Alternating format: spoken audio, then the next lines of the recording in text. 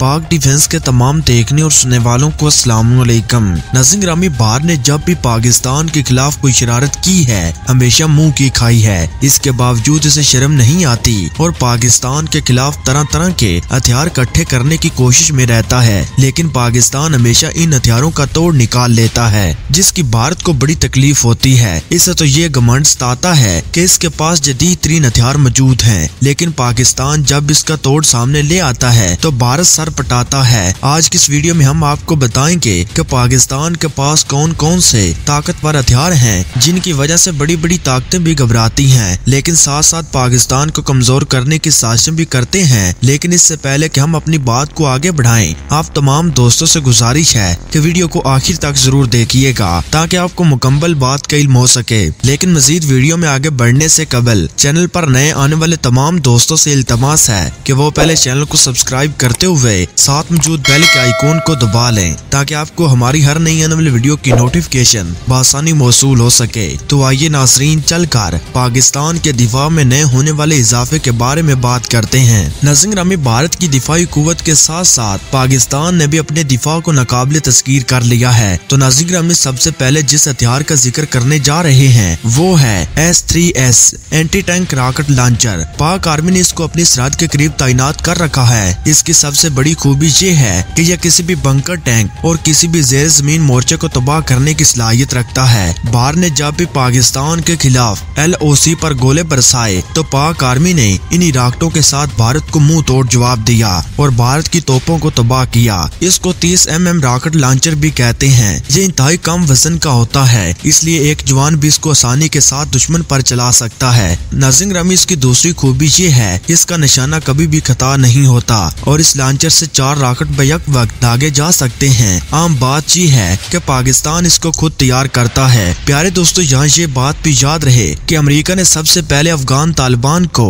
इस rocket launcher की practice करवाई थी और ये लॉन्चर फिर तालिबान ने अमेरिका के खिलाफ इस्तेमाल किए और इसे नाको चने चबवाए। नजिंग नामी पाकिस्तान और रूस के मुश्तर मशकों में इन रॉकेट लॉन्चरों का भरपूर मुजाहरा किया गया और इसकी तरबियत हासिल की गई। इसके बाद पाकिस्तान के पास चौथे नंबर पर जो हथियार है, वो है R A one twenty two multi barrel rocket system यहाँ ये राकेट सिस्टम पाकिस्तान के पास बीस की तादाद में मौजूद है, लेकिन आर एल सिस्टम पाकिस्तान ने खुद बनाया है। इसकी रेंज बीस ऐसी चालीस किलोमीटर तक बताई जा रही है। इसकी आम बात यह है कि इसमें गाइडेड सिस्टम भी लगाए गए हैं, जो दुरुस्त निशाना लगाने के लिए बहुत आम होते हैं। इसके अंदर 32 पॉइंट्स होते हैं, जिसकी वजह से एक ही वक्त में 32 राकेट दागे जा सकते हैं। इसको ऑपरेट करने के लिए तीन जवानों की ज़रूरत होती है। इस राकेट लॉन्चर को डॉक्टर कदीर के रिसर्च सेंटर में बनाया गया था। इसके साथ साथ पाकिस्तान ने इस सिस्टम की मार्केटिंग भी की है और इसको कई मुल्कों को फरोख्त भी किया है, जिनमें बांग्लादेश भी शामिल है। इस लॉन्चर को पचहत्तर किलोमीटर की स्पीड से चलते हुए ट्रक के ऊपर भी नस्ब किया जा सकता है। इसलिए इसको आसानी के साथ किसी भी मुकाम पर मुंतकिल किया जा सकता है। इसकी मदद से दुश्मन के कई एक मंसूबों को तबाह किया जा सकता है और इसे परेशान किया जा सकता है। इसके बाद बारी तीसरे नंबर के हथियार की आती है। इसका नाम है एयर टैंकर। इसकी मदद से फिजा में ही किसी भी दूसरे त्यारे में ईंधन भरी जा सकती है। प्यारे दोस्तों, ये बड़ी दिलचस्प बात है कि पाकिस्तान के पास इस किस्म के त्यारे मौजूद हैं, जो फिजा में ही अपने त्यारों को फ्यूल मुहैया कर सकते हैं। ये आई एस सेवेंटी सिक्स किस्म का त्यारा है और इसको एयर टैंकर फ्यूलर भी कहा जाता है। ये एक लोडर त्यारा होता है, जिसमें फ्यूल भरा हुआ होता है। इसके अंदर दो किस्म के टैंक होते हैं, जिनके ज़रिए लेजर फ्यूल भी भरा जाता है। इस वक्त पाकिस्तान के पास तिरपन ऐसे त्यारे हैं जिनमें ये सहूलतें मौजूद हैं। ये ऐसे त्यारे हैं जो अठासी हज़ार किलोग्राम के वज़न के साथ परवाज कर सकते हैं। यहाँ ये बात भी काबिल ज़िक्र है कि इससे पहले पाकिस्तान के पास इस किस्म के त्यारे नहीं थे, जो फिजा में ही रिफ्यूलिंग कर सकते हो। पाकिस्तान ने पहली बार ये त्यारे यूक्राइन से खरीदे थे। इसके बाद पाकिस्तान ने खुद बनाना शुरू कर दिए थे। इस तरह पाकिस्तान को मज़बूत दिफा मुयसर आ गया। इसके बाद मिसाइल सिस्टम है। नजिंग भारत हमेशा पाकिस्तान के खिलाफ सरगर्म अमल रहता है और न सिर्फ़ पाकिस्तान के खिलाफ, बल्कि चीन के खिलाफ भी कार्रवाइयों से नहीं चुकता, लेकिन हमेशा मुँह की खाता है। इसलिए वो हथियारों के पीछे भागता है। अब भारत ने एक मज़बूत तीन बैरी बेड़ा भी हासिल कर लिया है और खुद बना भी रहा है, लेकिन साथ ही साथ वो पाकिस्तान के मिसाइलों से भी खौफजदा रहता है और मानता है कि पाकिस्तान के मिसाइलों का मुकाबला करना भारत के बस की बात नहीं है, और ये बेड़े उन मिसाइलों से नहीं बच सकते। भारत को इस बात का अंदाज़ा नहीं है कि पाकिस्तान की मिसाइल टेक्नोलॉजी की जद में आकर ये बैरी बेड़े किसी तौर भी नहीं बच सकते।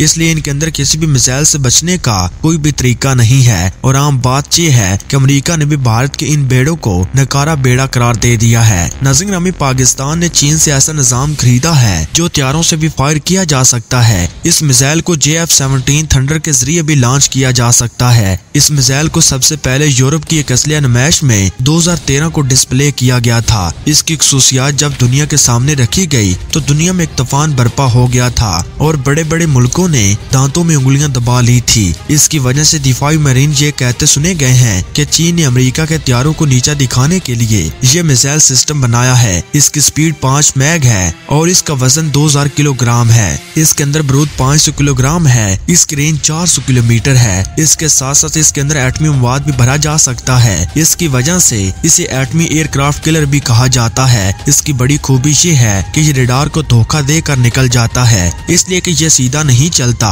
बल्कि टेढ़ा चलता है। इसलिए रेडार इसको काउंटर करने में नाकाम रहता है। इसके बाद पाँचवें नंबर का हथियार है F I M ninety two Stinger missile इसको एक आदमी अपने कंधे पर उठाकर ले जा सकता है। इसका वज़न 15 किलोग्राम होता है। ये अमरीका का बना हुआ मिसाइल है। ये तीन किलोमीटर तक मार कर सकता है। इसके साथ साथ इसके ज़रिए हेलीकॉप्टर और त्यारों को भी काउंटर किया जा सकता है। खास तौर पर दुश्मन के टैंकों और हेलीकॉप्टरों पर क्यामत बनकर हमला करता है। इसके अंदर गाइडेड सिस्टम भी मौजूद है, जिसकी वजह से इसका निशाना खता नहीं जाता और इस तरह मैदान जंग में इसका बेहतरीन इस्तेमाल हो सकता है। जब दुश्मन के टैंक अंदर आने की कोशिश करें या इसके हेलीकॉप्टर दुश्मन की मदद के लिए आगे आए तो इन्हें गिराया जा सकता है। इनकी रफ्तार कम है, लेकिन इसके पाँच मॉडल पाकिस्तान के पास मौजूद है। नज़र में ये थे वो पाँच हथियार, जिनके नाम से दुश्मन पर सख्ता तारी हो जाता है और दुश्मन सोचता है कि इन हथियारों से बचाव किस तरह मुमकिन बनाया जाए। लेकिन दुश्मन के लिए ये एक दीवाने का खा भी हो सकता है कि वो पाकिस्तान के हथियारों से बच सकेगा।